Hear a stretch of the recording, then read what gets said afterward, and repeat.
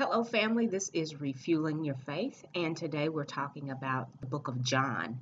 And so, uh, in the book of John, we follow somewhat the same pattern that we've seen in the other Gospels of when we're introduced with to Jesus, and then they share, or the authors share, the healing that he did, the teaching that he did, the opposition he had with the Pharisees and the chief priests, and then we hear about how they crucified him, how he died. Um, I'm sorry, well, we see the story about when he is ushered into Jerusalem by walking on the colt, and they say, Hosanna, Hosanna. Blessed be the name of the Lord.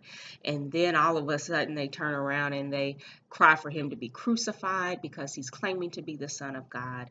And then he is crucified and then is resurrected. And so John follows about the same pattern, but in the book of John, we find that we are introduced or we get more of Jesus's proclamation that I am the Son of God, that I am the Good Shepherd, that I am the true vine. He really introduces himself as being in relationship with the Father. That if you have a relationship with me, then you also have a relationship with the Father. If you don't have a relationship with the with me, then you don't have a relationship with the Father. He um, just continuously throughout the entire book raises himself up to be the Son of God, not only the Son of Man, uh, born of Mary, uh, stepchild to Joseph, uh, but the Son of God, God's Son, who He sent into the world to save the world, not to judge the world. The judge, the the world is already being judged, uh, the father of lies is the father of this world. And those who want to not be judged then would put their faith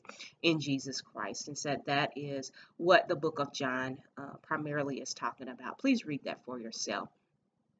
Our highlighted scripture comes from John 4. John 4. In John 4, we find that Jesus is talking to the Samaritan woman on his um, or she is talking to the Samaritan woman, and the Samaritan woman um, doesn't understand that he is God. Um, he's asking her for water from the well, and she is saying, Hey, well, why are you speaking to me? I'm a Samaritan and you're a Jew. And so he begins to share with her who he is, and she accepts him for who he is. And in verse 39 is where we find our highlighted verse.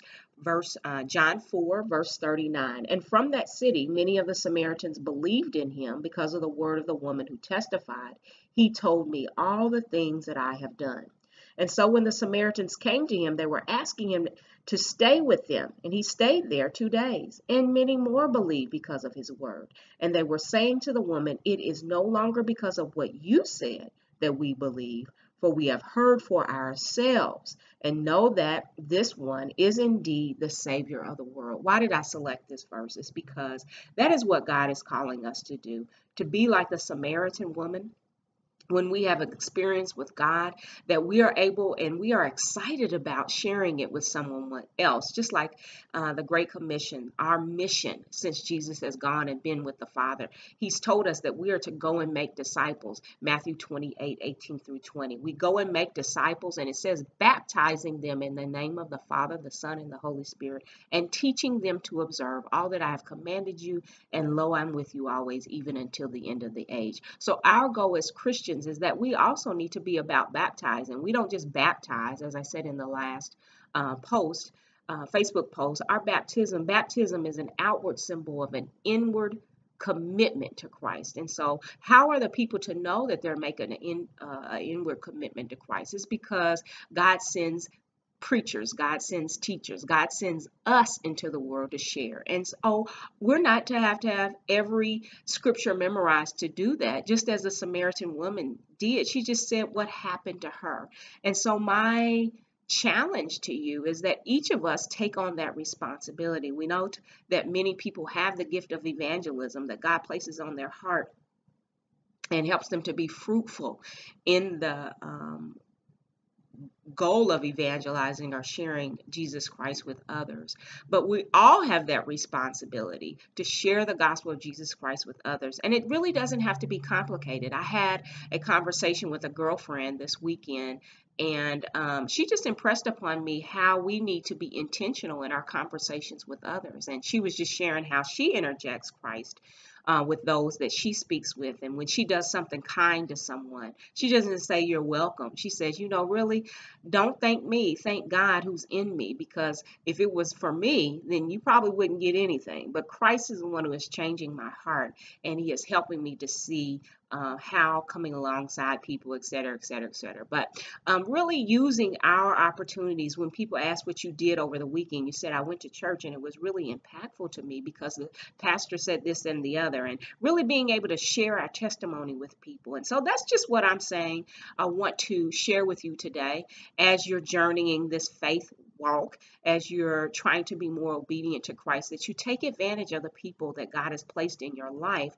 to help them become or to encourage them in their walk with Christ. Understanding that God doesn't allow you to come across people for no reason, that God has not put you in uh, your work environment. God has not put you in your community. God has not put you in your family. God has not put you in the circumstances that He places in you, places you in for no reason. But God has placed you there because He has a work for you to do in that area, and to just be sensitive that to that and be intentional about how you can go about sharing the love of Christ, not only in your actions, but also in your verbal speech to them, because people can't they can see you and be attracted to the work that you have, but they need to hear your testimony. And that's what the Samaritan woman did.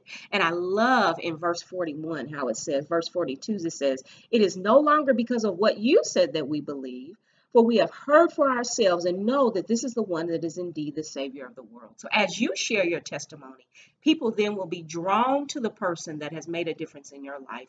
And then they will have their own commitment story, that they won't be living off your commitment, so that you receive all the attention but when we all when we turn our attention to god then God will receive the attention and people will be able to say it's because of ourselves. It's because what we've seen for ourselves now that we believe. And that is our goal.